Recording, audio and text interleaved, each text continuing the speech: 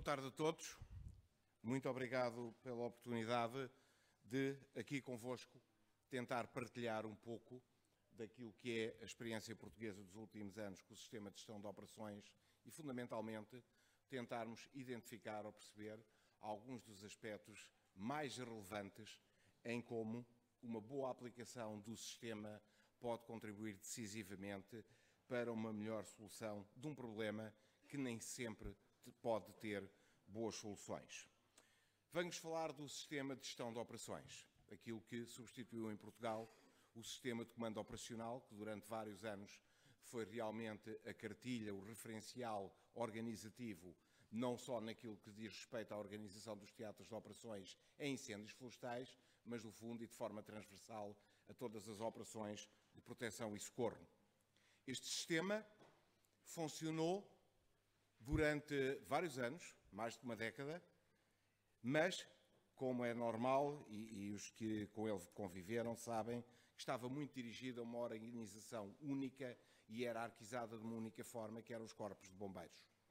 Com o advir de novas realidades, também de novos enquadramentos, da chamada aos processos em tudo o que tem a ver com proteção e socorro, foi necessário criar um sistema que permitisse que simultaneamente pudéssemos continuar a ter um referencial organizativo, mas que ele fosse suficientemente flexível para poder acolher, quer em sede de intervenção, quer em sede de processo de decisão, todas as entidades, todos os organismos que possam trazer contributos com a ação ou com aportes técnicos ou científicos.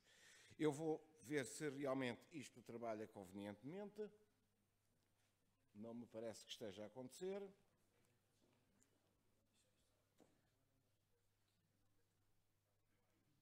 Ok. Muito bem, muito obrigado. Eu não irei fazer aqui uma apresentação exaustiva do que é o nosso sistema de gestão de operações, mas vou fazer aqui, nos 30 minutos, que espero poder cumprir, uma resenha sobre aquilo que é este sistema atualmente em vigor em Portugal. O seu enquadramento, ele existe e está publicado por despacho, pelo despacho 3551 de 2015, do Presidente da Autoridade Nacional de Proteção Civil, começou a funcionar em 2013, debaixo da égide de uma norma operacional permanente, e aquilo que é importante é percebermos que tudo o que está no sistema de gestão de operações, tal como o conhecemos e aplicamos hoje, tem como legislação habilitante o Sistema Integrado de Operações de Proteção e Socorro. Ou seja, todas as competências, toda a responsabilização que está expressa no, no CSGO decorre diretamente daquilo que é o diploma de legal que institui o Sistema Integrado de Operações de Proteção e Socorro, que já teve, como sabeis, em 2013, uma segunda versão.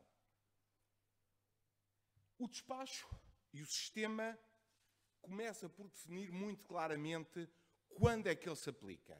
E esta é provavelmente uma das grandes vantagens, uma das grandes aspectos mais importantes de termos esse sistema. Regula, define o desenvolvimento do SGO, através do despacho, que se aplica a todos os agentes de proteção civil, a todas as entidades com dever de colaboração, sempre que estejam empenhadas em operações de proteção e socorro. Importa também perceber que, quando estamos a falar do sistema de gestão de operações, estamos a falar de uma forma de organização operacional que se desenvolve de forma modular, que é flexível e que esta flexibilidade e o facto de poder ser modular na sua fase de crescimento ou de decréscimo tem a ver com a importância, com a dimensão do sinistro ao qual está a ser aplicado.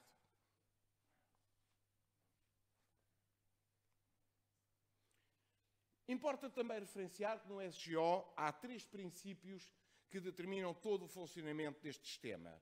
O primeiro é o princípio da unidade de comando.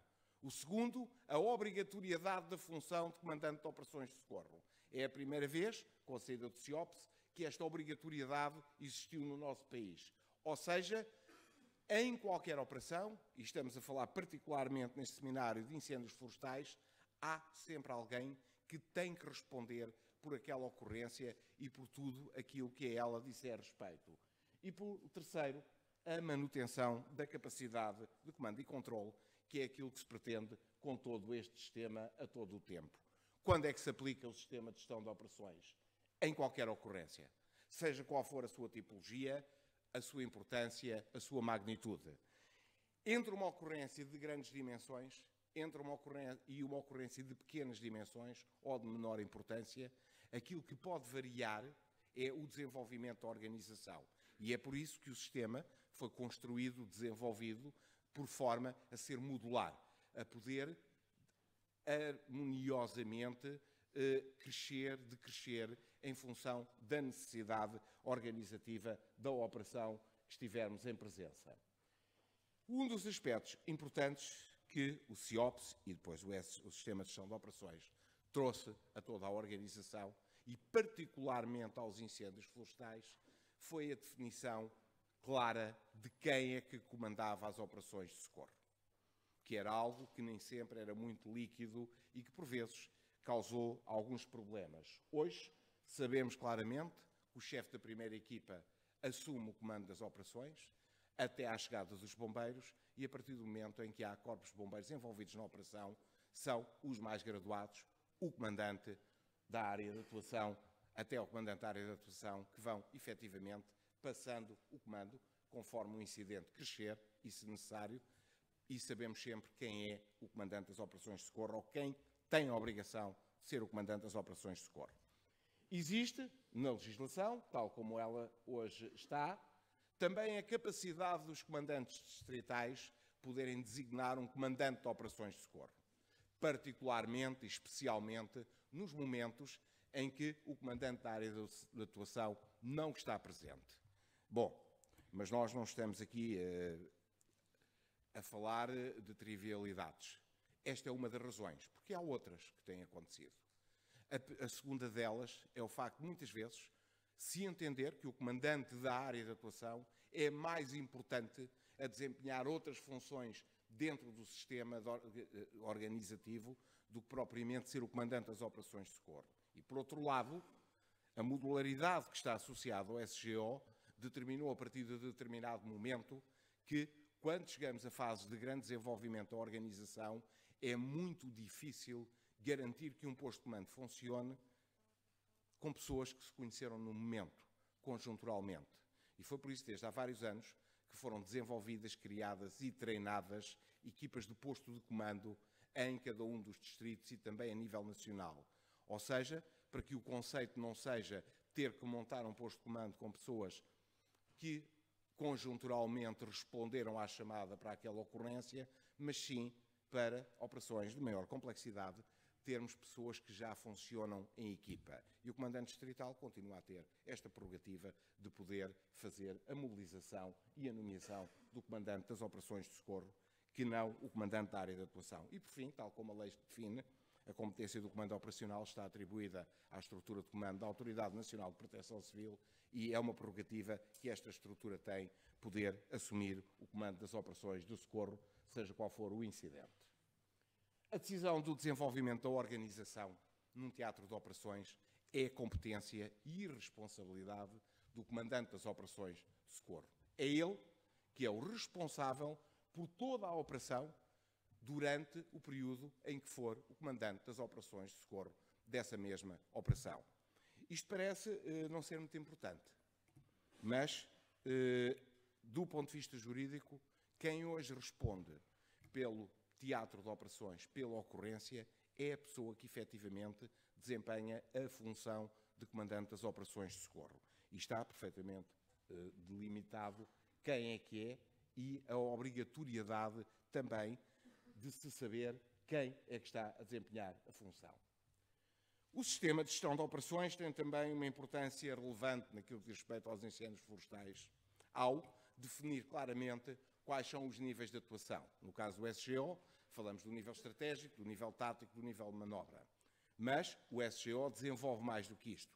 Atribui competências, diz quem é que tem a competência e, obviamente, a responsabilidade por cada um destes níveis. Ou seja, pretende este documento, de forma muito clara, muito transparente, dar clara ideia a todo o tempo, em qualquer ocorrência, de quem é que tem a obrigação de desenvolver as tarefas associadas ao nível ou à função que está a desempenhar.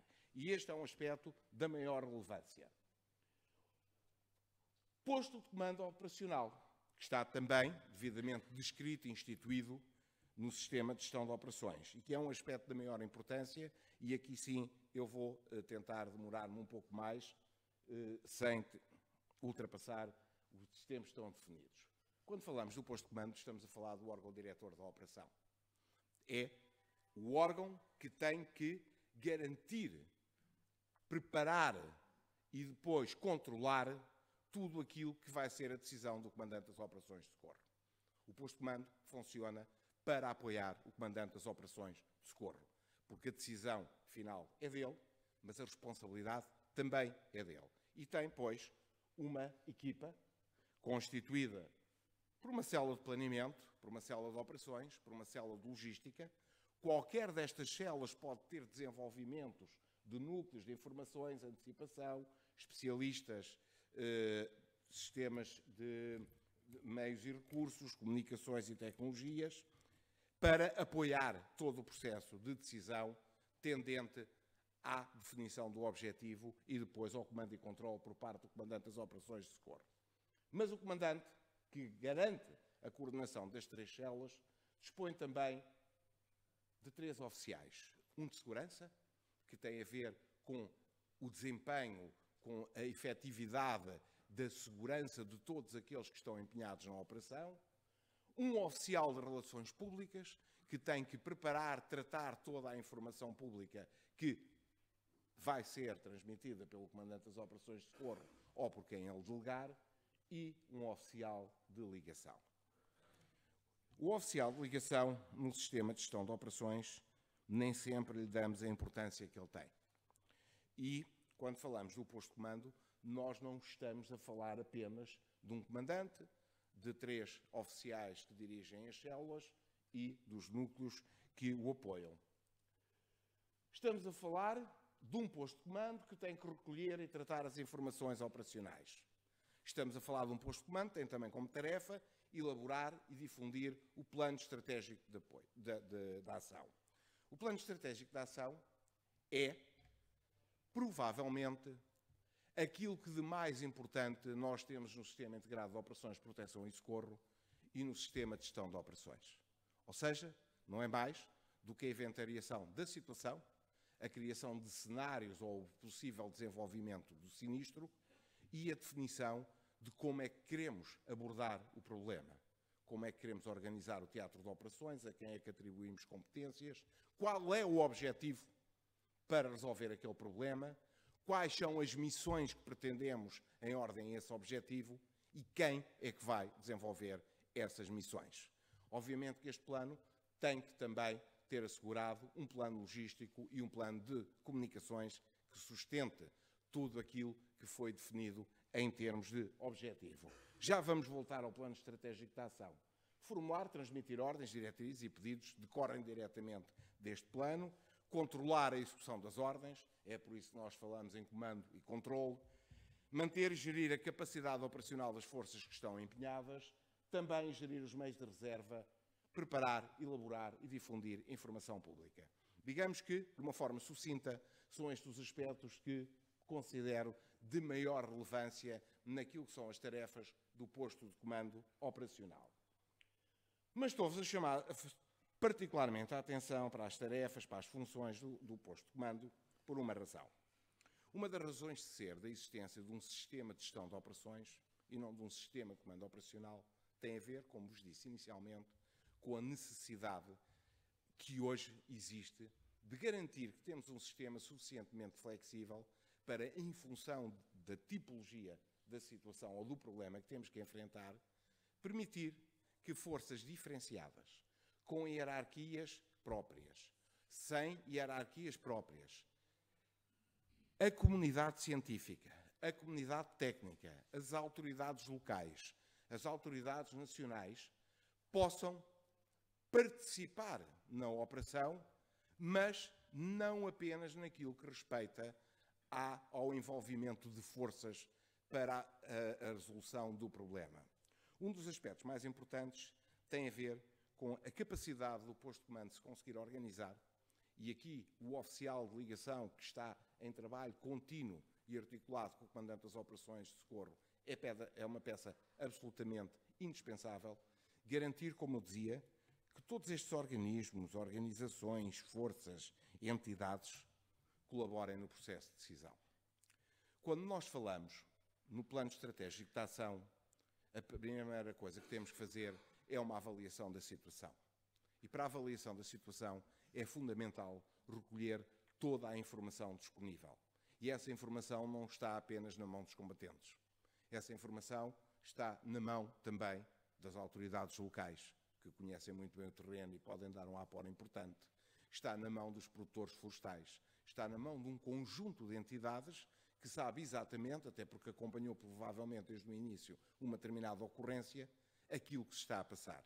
E é particularmente importante na previsão do cenário seguinte. Quando se elabora um plano estratégico de ação, e é isto que o sistema de gestão de operações pretende, é montar uma organização e uma ação de resposta a um problema. Eu não vou responder ao problema que está instalado agora eu vou ter que me preparar para responder ao problema que vai ter desenvolvimento nas próximas horas. E aqui é fundamental que todas as organizações que têm conhecimento, capacidade técnica ou capacidade científica possam colaborar na elaboração destes cenários para as próximas horas. Porque a resposta que eu vou organizar e a qualidade dessa resposta vai depender fundamentalmente da qualidade dos inputs que nesta fase forem trazidos ao processo. O que é que cada um de vós tem a ver com isto? Tem tudo. Por todas as organizações que intervêm com forças, todas as organizações que têm conhecimento, todas as organizações, entidades, forças que têm conhecimento técnico e conhecimento científico são fundamentais neste momento. E qual é a grande dificuldade que se tem colocado? Como é que, em termos práticos, isto se faz num teatro de operações, fundamentalmente quando estamos a falar de incêndio florestal, que tem aquela particularidade de não estar parado, é uma linha de fogo que está permanentemente em movimento, a cada momento nós temos uma alteração da situação que analisámos quando começámos o nosso planeamento e que é fundamental, por isso, que todos vós, todos os que têm essa capacidade ou forças envolvidas, participem neste processo. Dizia eu que é muito difícil, e isto tem-se manifestado extremamente difícil, em termos práticos, conseguir montar um posto de comando que seja suficientemente agradável e tenha condições para conseguir que cada um dos técnicos, cada um das forças, cada um dos oficiais de ligação consiga, em tempo útil e de forma minimamente aceitável sob o ponto de vista das condições de trabalho, trazer este aporte ao processo de decisão. É um dos aspectos mais complexos que iremos analisar no final desta pequena apresentação. De qualquer forma, aquele oficial de ligação tem que garantir a máxima coordenação e cooperação.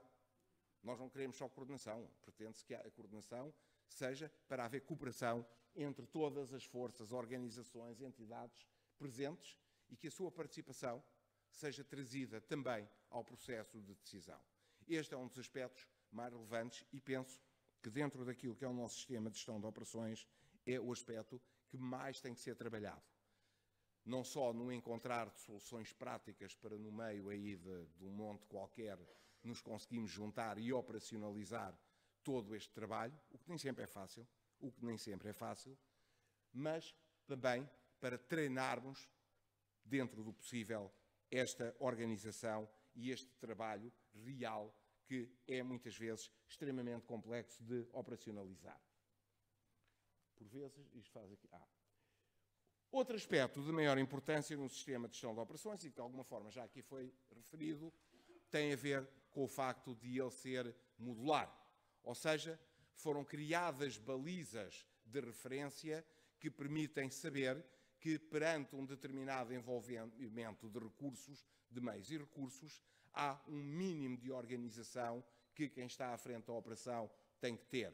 Quando nós dizemos que há a fase 1, 2, 3 e 4, nós não estamos só a dizer isto. Estamos também a adequar a organização às necessidades operacionais, mas estamos fundamentalmente a automatizar a evolução da organização e da sustentação das operações. E com isto também criar condições para proporcionar meios e ferramentas de que iremos falar para o comando e controle adequado. Quando, sabemos, quando estamos na fase 1, ou na fase 2, ou na fase 3 ou 4, hoje, todas as pessoas que estão envolvidas no processo sabem quais são os parâmetros mínimos de organização que têm que ter. Não quer dizer que não possam ter mais, que não possam desenvolver a organização, mas está pelo menos parametrizado qual é o mínimo de organização de responsáveis de descentralização da autoridade que tem que ter no teatro de operações. E isto é particularmente importante, não quando as coisas correm bem, mas particularmente importante quando as coisas correm mal. Porque é muito mais fácil hoje perceber, face àquilo que está determinado, o que é que não foi cumprido, ou se, cumprindo tudo, mesmo assim as coisas correram mal, o que é perfeitamente possível e é algo que nem sempre aceitamos como verdadeiro. Um dos aspectos da maior importância que o SGO tem é a clara determinação do que é que são as zonas de intervenção. O nosso sistema integrado de operações de proteção e socorro, o nosso sistema de gestão de operações, suporta a possibilidade de definirmos qual é a zona de sinistro, que é uma zona interdita, qual é a zona de apoio, que é uma zona de acesso condicionado, e qual é a zona de concentração e reservas, para além da zona de recepção de reforços que está fora do teatro de operações. Um dos problemas que nós temos em termos de incêndios florestais é que é muito difícil delimitar uma zona. É muito difícil garantir a exclusão de pessoas que não têm a ver com a supressão do incêndio de uma determinada área. De qualquer forma, há uma ferramenta legal que permite que, perante a identificação da zona de sinistro por parte do Comandante das Operações de Socorro, as forças policiais tenham realmente legislação habilitante para dizer quem está aí dentro sai, quem está fora não pode entrar. E este é um aspecto da maior importância que pela primeira vez apareceu na nossa legislação com a publicação do Sistema Integrado de Operações de Proteção e Socorro e, decorrentemente, do Sistema de Gestão de Operações. Hoje, nós sabemos, se tivermos uma operação muito complexa, qual é o desenho final que a organização deve ter. E temos um desenho para cada um dos níveis como parâmetros mínimos da organização instalar. Ou seja, universalizamos os modelos organizativos para que todos os que normalmente ou esporadicamente participam em operações de socorro e particularmente em incêndios florestais saibam exatamente qual é o modelo organizativo, como é que a arquitetura da organização se instala num teatro de operações e quem é que são os responsáveis por cada uma dos níveis de atuação ou das funções que estão devidamente descritas. Paralelamente a isto, foi necessário também criar ferramentas. Nós temos quatro níveis de atuação, temos também ferramentas disponíveis para cada um destes níveis. Uma das perguntas se põe é, mas isto não é demasiado pormenorizado estar a dizer que se usa o quadro A, o quadro B ou o quadro C? Não, por uma razão.